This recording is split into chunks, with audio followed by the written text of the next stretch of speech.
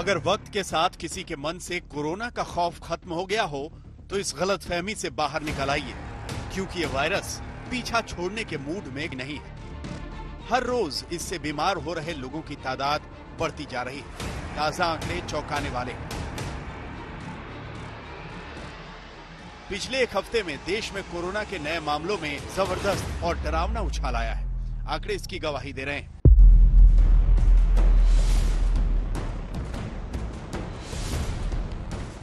16 जुलाई को बत्तीस हज़ार छह सौ पंचानवे नए केस सामने आए।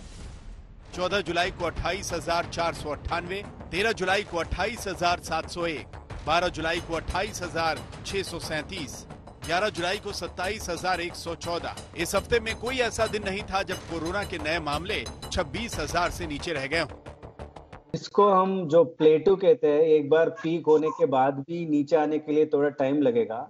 तो ये बढ़ता ही नहीं रहेगा, पर अलग अलग राज्यों में जो केसेस नए नए आ रहे हैं, इसी की वजह से वो प्लेटू थोड़ा दिन के लिए ऐसे बरकरार रहेगा। दुनिया भर में कोविड 19 से बुरी तरह प्रभावित देशों में अमेरिका और ब्राज़ील का नाम सबसे ऊपर है और भारत लगातार तीसरे नंबर पर जगह बनाए हुए है। बुरी खबर ये है कि अमेरिका की तरह भारत में हर रोज संक्रमित होने वाले मरीजों का आंकड़ा लगातार बढ़ता जा रहा है। लेकिन ब्राज़ील में इसकी रफ्तार अब धीरे होती दिख रही है। आंकड़ों पर नज़र डालें तो जहाँ भारत में हर रोज कोरोना के शिकार होने वाले लोग बढ़ते हुए तीस हज़ार तक पहुँच रहे हैं, वहीं ब्राज़ील में अब हर रोज बीमार होने वाले मरीज़ चालीस हज़ार से नीचे पहुँच गए हैं, जबकि अमेरिका में अब भी हर रोज साठ हज़ार लोग कोरोना पॉजिटिव हो रहे हैं। यानी भारत में हर रोज कोरोना से बीमार होने वालों की संख्या बढ़ रही है।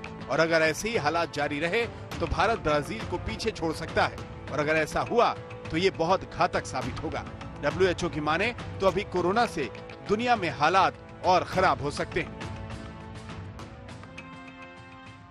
If governments do not clearly communicate with their citizens and roll out a comprehensive strategy focused on suppressing transmission and saving lives, if populations do not follow the basic public health principles of physical distancing hand washing, wearing masks, coughing etiquette, and staying at home when sick.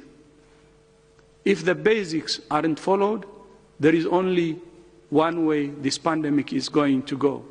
It's going to get worse and worse and worse.